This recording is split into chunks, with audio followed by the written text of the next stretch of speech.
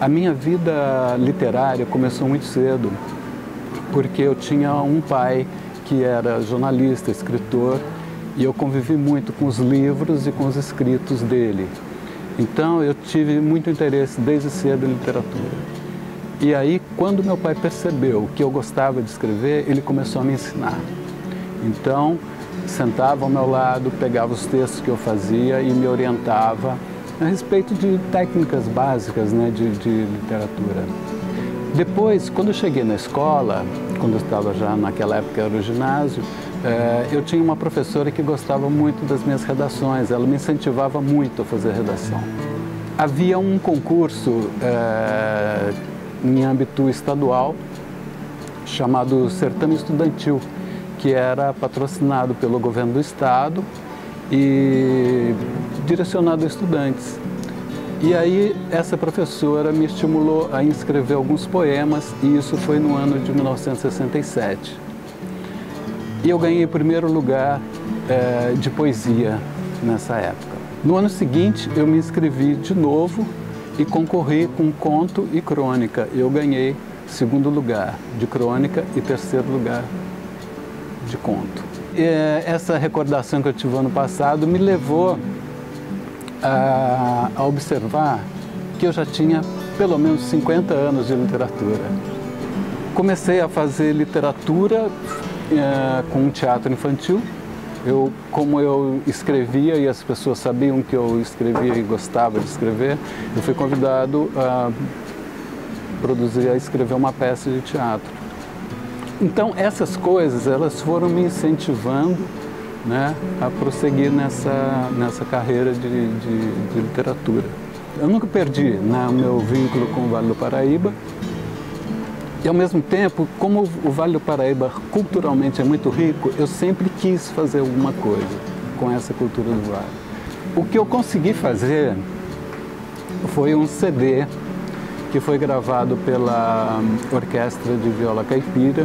Isso foi também nessa época, 1995, acho que saiu esse CD. Então o projeto se chamava O Rio da Minha Terra.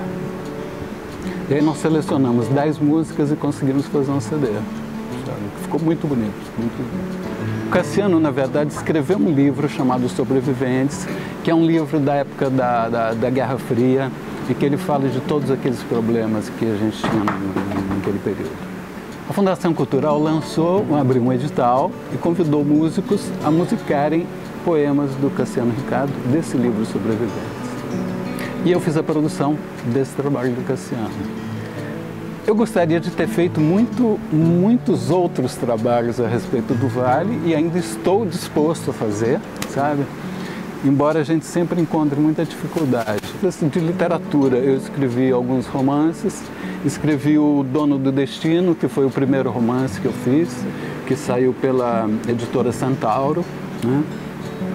Esse, esse daqui foi um trabalho infantil, Na Terra dos Homens de Duas Caras, que foi lançado pela FTB e é um trabalho já esgotado, que me deu muita alegria. Esse daqui é, é um, um, livro de crônicas que eu publiquei no O Vale, que era o Vale Paraibano.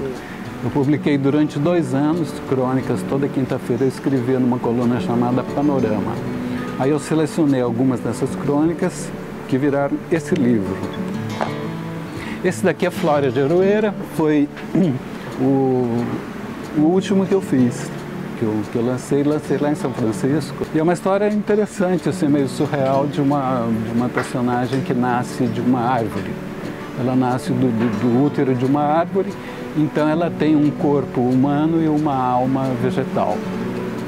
E aí eu criei isso para poder fazer uma crítica da natureza humana, sabe?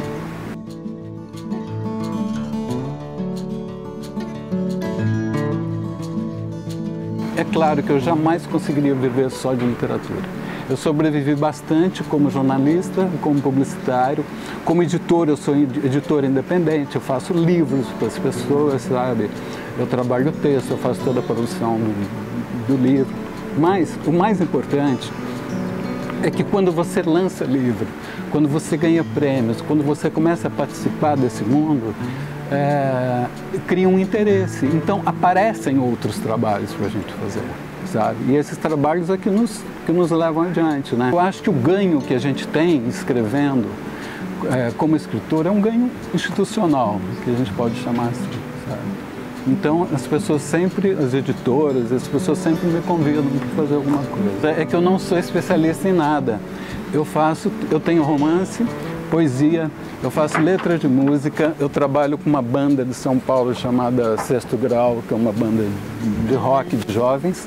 No Facebook eu já publiquei mais de 300 poemas meus, sabe? E agora eu estou acabando de, de, de, ser, tô acabando de ser feito o meu site, eu vou deixar disponível lá os, todos esses livros, vou deixar todo o meu material disponível, sabe? Esses que eu detenho o direito, né? Os que estão com a editora ainda não posso fazer isso. Mas à medida que os direitos passarem para mim, eu vou deixar disponível. E. E prosseguir. continuar publicando. e continuar publicando.